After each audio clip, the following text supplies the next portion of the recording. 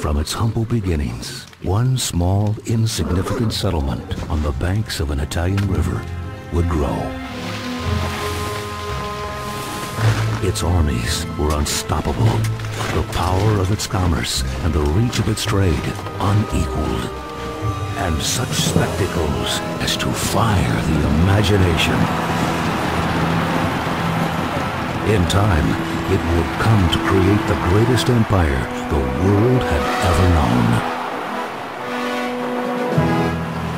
Now you must rebuild the glory, the splendor that was Rome.